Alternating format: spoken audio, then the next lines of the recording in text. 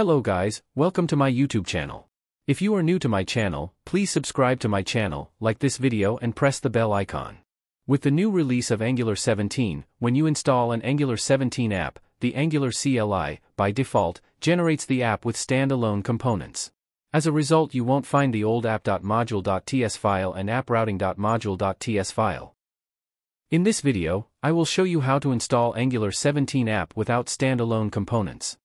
In this Angular 17 app, you can see that the app.module.ts file is missing from the app folder. Open app.component.ts file and you will see that it is a standalone component, which doesn't need to be declared in an ng module. Common module and router outlet are added in the imports array.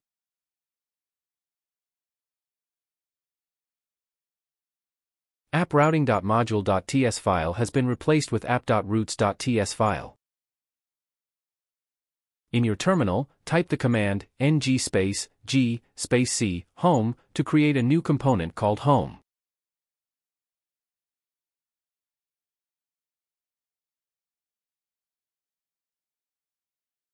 Open home.component.ts file and you will see that it is also a standalone component. Let's see how to install Angular 17 app without standalone components. Open the directory where you want to install your Angular 17 app. Click here, type cmd and press enter to open the command prompt in the directory. Now, type the command ng, space, new, space, your project name, space, dash dash standalone, space false.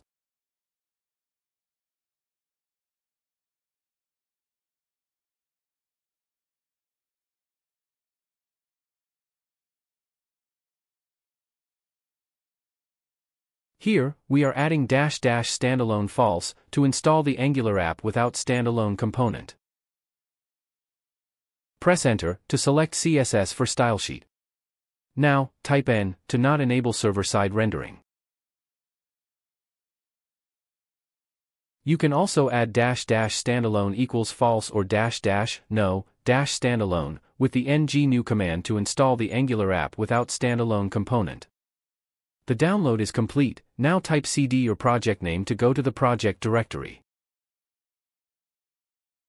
Now, open your project in your editor.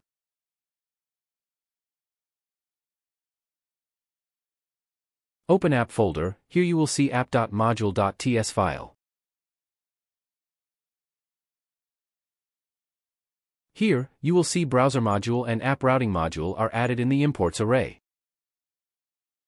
Here is the app-routing.module.ts file, which is responsible for configuring and defining the routes for your application.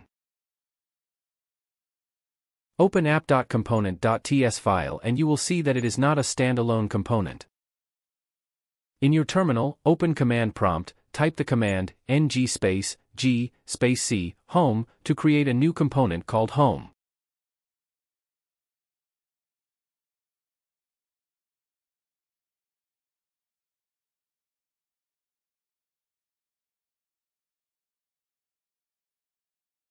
Open home.component.ts file and you will see that this component is also not a standalone component. Now, open app.module.ts file.